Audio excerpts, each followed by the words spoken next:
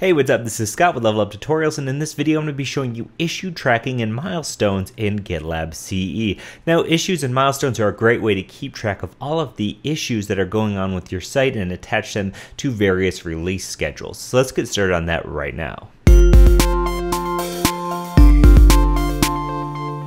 Okay, so now that we've gone over some of the tools that are allowed and administrative stuff, let's go ahead and talk about just sort of what milestones, issues, and stuff like that we now have available within GitLab. So let's go and head back to the home, and I'm going to select the just administrator test project that we have here. And you'll notice we have one single commit, one branch, and no tags, no changelog, no license, none of this stuff. But what we do have is if we head over to our sidebar, you can see we have an issue, and we also have a milestone. Now, milestone is just this release candidate, and you can see it doesn't have a whole ton of information if we select it.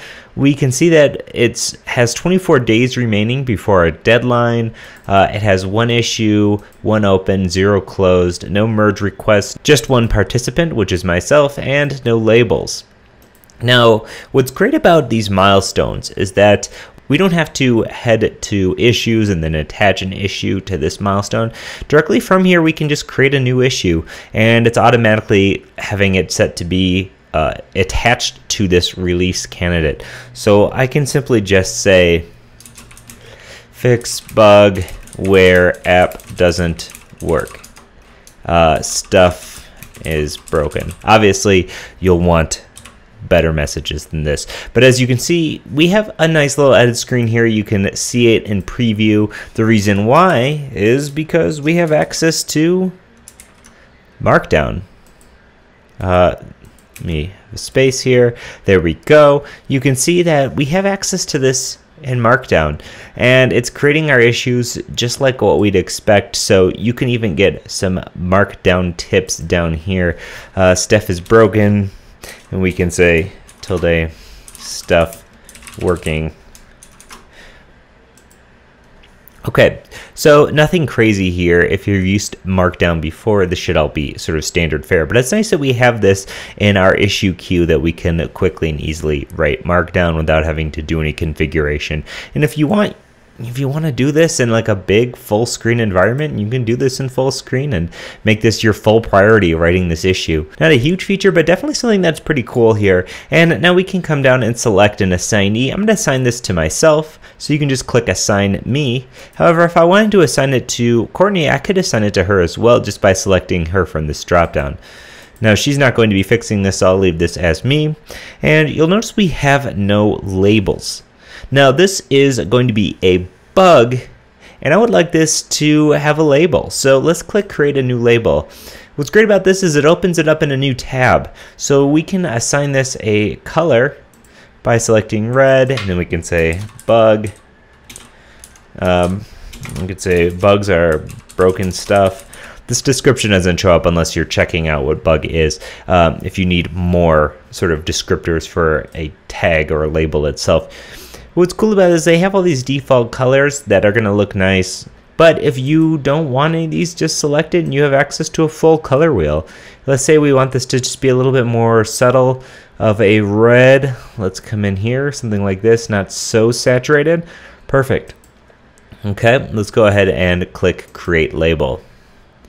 Okay, so we now have this bug label that looks just like this. We can delete it, you can subscribe to those bugs, whatever. Now the only bummer here is, is that if we come back to our issue, it still says we have no labels, which isn't ideal. Obviously you'd want this to auto update when you actually have one, but it's no big deal. And you could even move this to a different project from this screen if you wanted. But since we're already in a milestone of this particular project, we can just click submit issue. And you can see we now have this issue. Now the issue page is really super nice because not only can you leave comments on it, you can upvote, downvote issues, you can add emoji reactions, but let's say this is, you know, something that's near and dear to my heart. I can add a heart, give it a thumbs up, and now all of a sudden, uh, anybody looking at this is going to say, hey, this issue seems like it's a little bit more important We can click edit here and let's scroll down and now we can add our bug label, save changes. And you see that we now have this update that says administer added the bug label. You can come in here and say uh, needs more code has a issue. We can click comment you can see the administrator has listed this on the branch. You'll notice it says master because that's the branch that this issue is on. If this was going to be on a different branch, you could always select new branch here. And what it did is actually created a branch for us. Uh, it created a branch that is basically based off of this issue. And from here, you could have a merge request, you could pull this particular branch, and you could get going on that issue itself. So let's head back to our issues.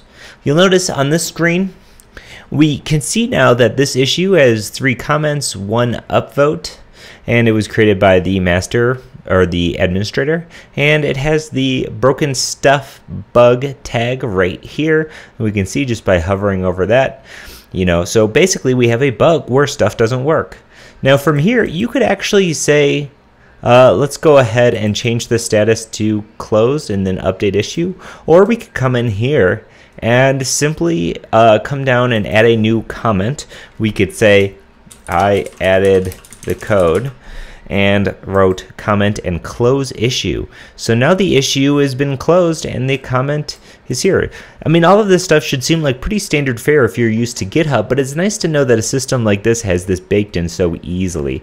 Now you can see it has closed. If we head back to issues, we only have one open issue, two in all, one in closed. We can come now to our milestones and see something new and fancy. We now are 50% complete for the release candidate, and that's awesome. Uh, because uh, we have this nice visual indicator. You can create all these different issues and bugs and features and all sorts of stuff for your projects and you're going to have a nice visual indicator where you are for different milestones or releases. So if you have a ton of issues, this gets really nice because you can filter by milestones, you can filter by labels, you can filter by assignee or author, you can even filter by name by searching up here, and you can even check it out. If we open this in a new tab, we have an XML feed of the issues. So, I mean, this is all really super nice. And, and like I said, this is your own system. So you can do anything you want with this. You can build this however you want.